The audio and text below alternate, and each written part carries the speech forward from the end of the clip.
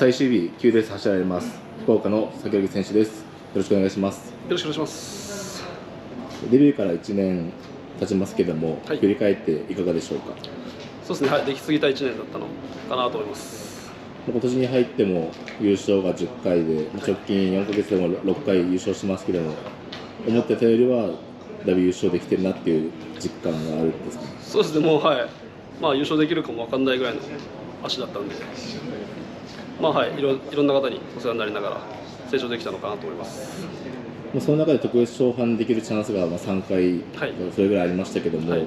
その時のレースの心境っていうのは振り返るとどうでしょうか？そうですね。まあ大事なところで決めれなかったなと思うんですけどまあもう優勝できてるのが不思議なぐらいの感じなんでまあ全然悲観はしてないですね。これで、えーまあ、来月からはまあ2班ということで、決まってますけどもこういう一発レースっていうのはどうですか気持ちとしては？うんそうですね。やっぱ勝負するからには勝たないといけないのかと思うんで、まあ、しっかりと1着目指して頑張ります。明日なんですけども、はい。えー九州で佐藤選手がいますけども戦い方教えてください。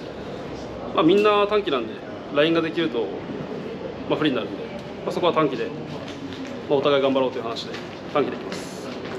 わかりましたでは、えー最後に明日への意気込みをよろしくお願いします、はい、まあ、悔いないよ全力で頑張ります。応援よろしくお願いします。